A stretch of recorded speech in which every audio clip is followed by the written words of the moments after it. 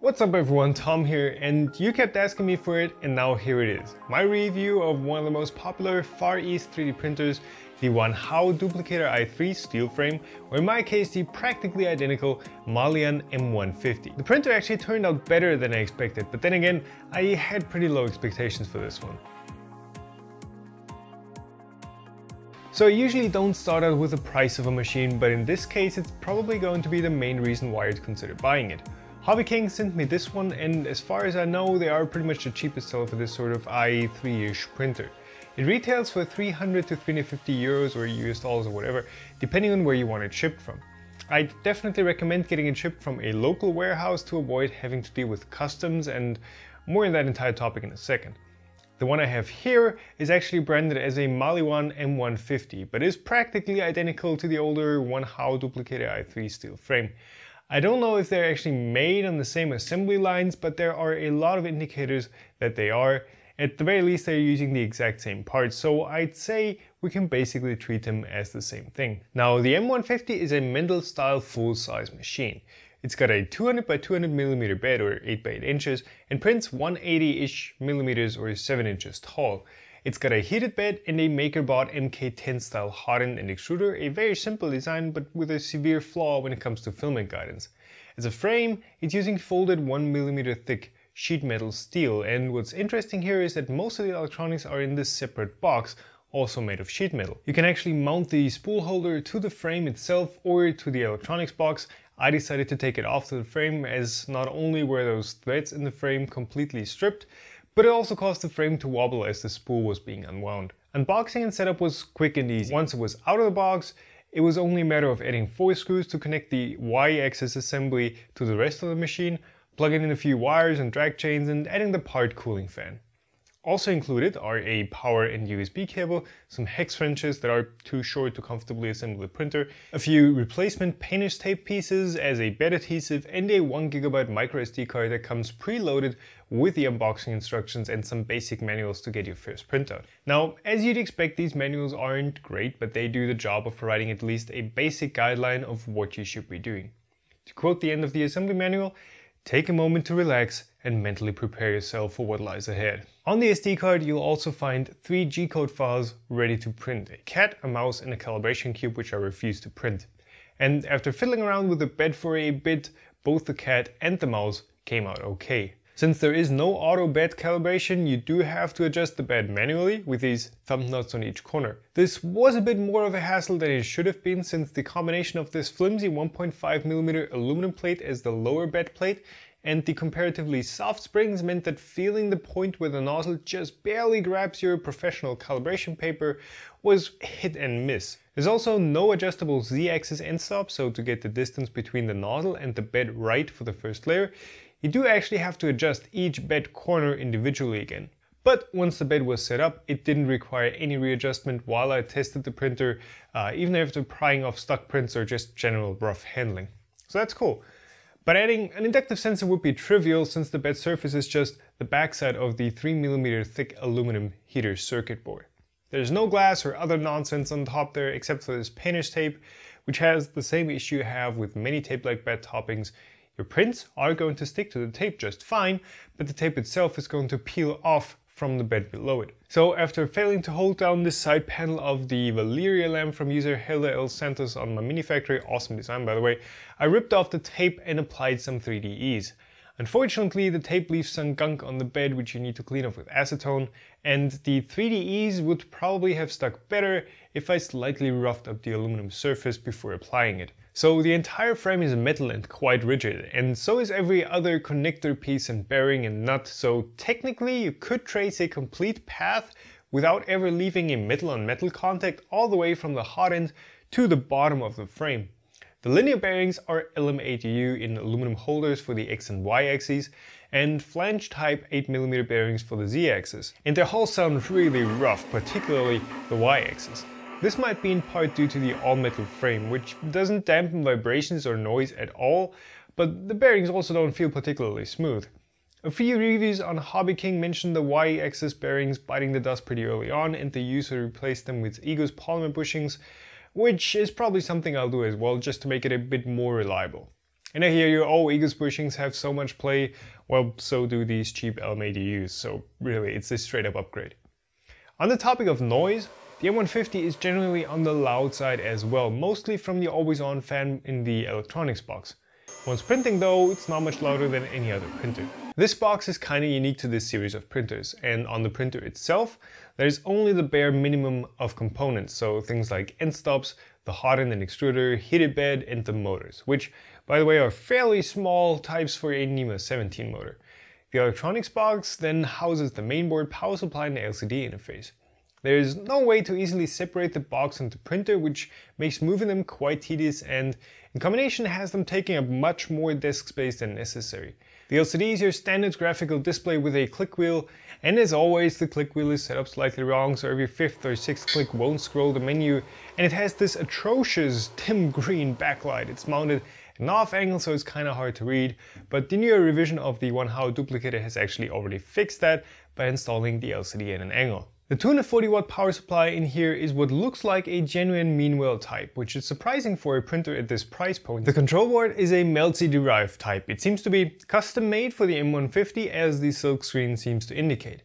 It's a really simple design and while I don't think these power connectors are actually rated for the full 10 amps the heated bed seems to draw, for now it's working, but I'm probably going to solder the wires directly to the board since I'm not a huge fan of that burnt plastic smell. While none of the cables going out of the box have any sort of ferrite beads or shielding or anything like that, they are labeled and nicely routed which I appreciate. Also the entire high voltage section does look tidy and properly insulated so that's a thumbs up there.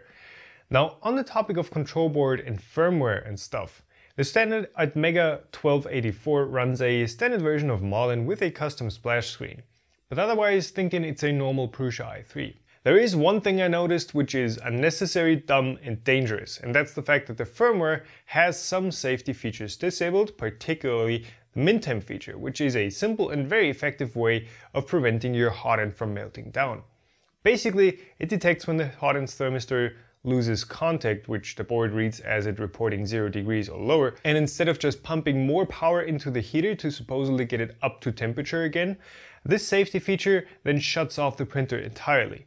If it doesn't, or didn't, it's going to easily melt the aluminum part of the hot end and potentially set some stuff on fire, so MinTemp really is a safety feature that should never be disabled. The only reason I can think of why you turn it off would be that either some part of the thermistor cable has a loose connection, which would randomly trigger the MinTemp feature and crash your print, but of course in that case you should probably fix the wiring and not just disable the symptoms. Otherwise if you disable it without really thinking about it, I'm going to call you completely incompetent and you probably shouldn't be in a position of configuring the firmware for thousands of printers.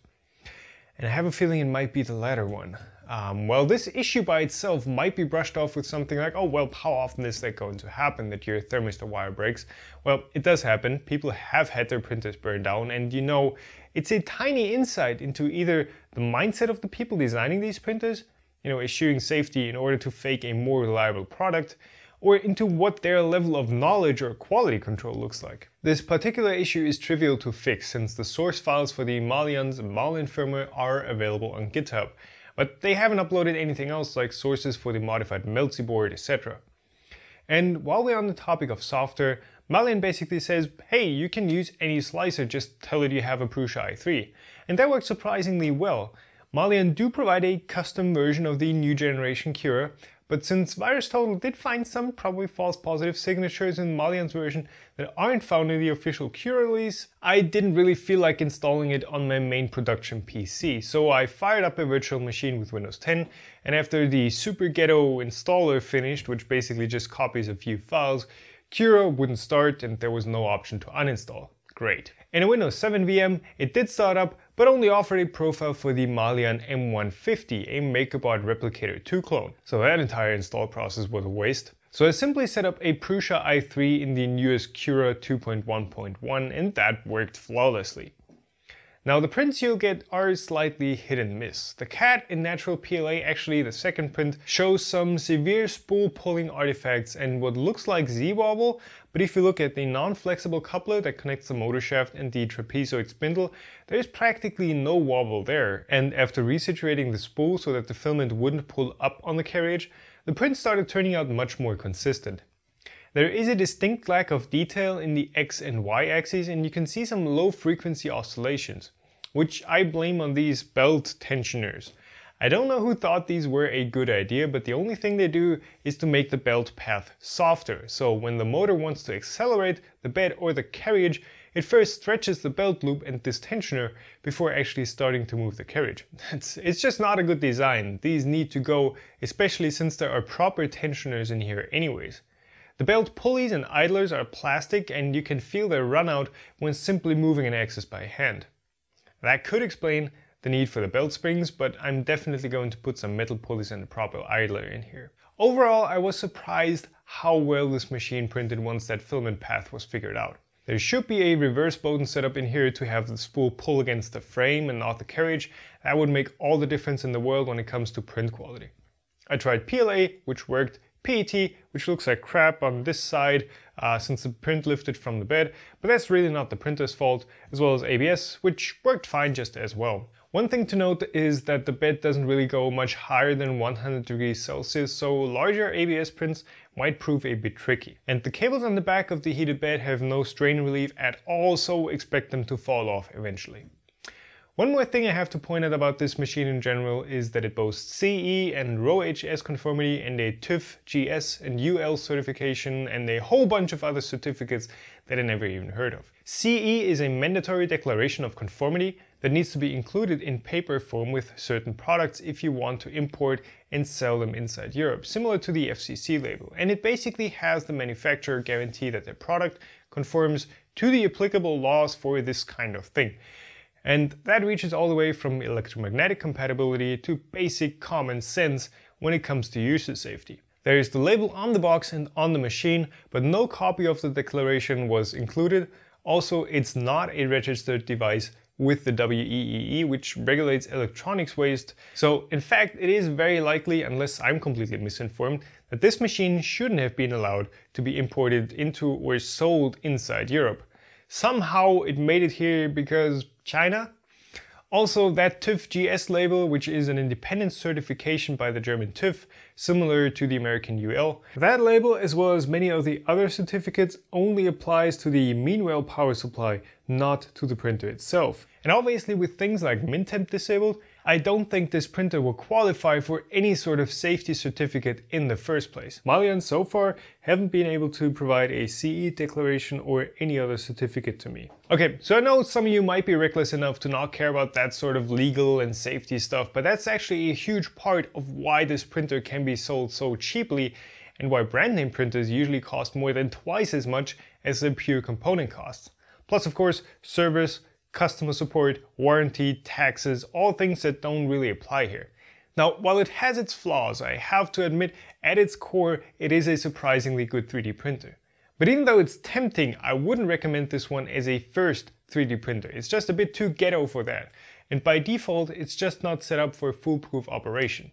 If you're an experienced user and just don't have enough 3D printers, this might be the cheapest way to expand your capacities if you can improve on its flaws and overall make it work for you. Alright, so that's enough rambling about this one. I'll make a few mods and keep using it. If you feel brave enough to step into these waters, you can find links to the Malyan M150 and the equivalent Wanhao printer in the description. Otherwise, get subscribed. I've got an even cheaper printer review from Hobby King coming up. Share this or any other videos with your friends who might find them useful. And if you want to support me directly, Patreon is the best way to do that. Anyways, thanks for watching and I'll see you in the next one.